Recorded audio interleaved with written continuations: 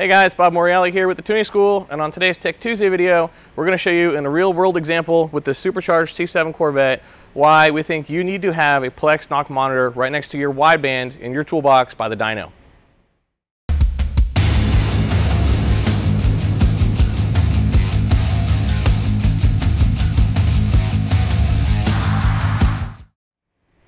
All right, welcome back. And uh, today we have this supercharged C7 Corvette here. And if you've ever tuned a supercharged C7 Corvette, you know exactly what I'm going to start talking about. If you are a customer who owns a supercharged C7 Corvette, you might want to close your ears because this is what your tuner probably doesn't want to talk to you about.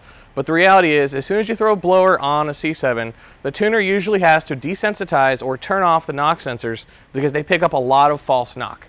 Now, when we first did research and development on the supercharged C7s, we found that it was false knock but we had to pull cylinder heads to prove it. We had to change fuels to prove it. And in this case, this is a great example. This car came in, it had six degrees of timing in it at full throttle, and it was pig rich because the previous tuner was obviously really worried about it really knocking because he didn't know when it was really knocking because all he had for a reference was false knock.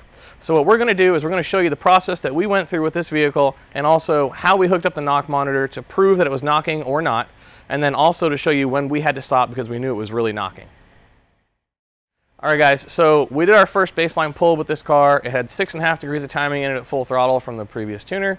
Um, the knock sensors were going crazy because they did think it was getting false knock.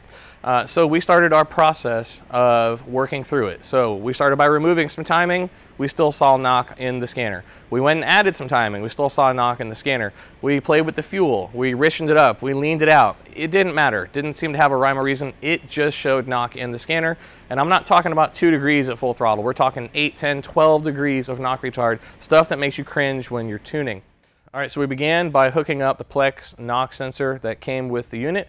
We took the factory knock sensor off, we screwed the, bolted the, the new Plex knock sensor into place and hooked it up to the harness to the Plex unit itself. So then we were able to listen for knock as it happened and then also see it light up on the screen and watch the graph as any knock would occur.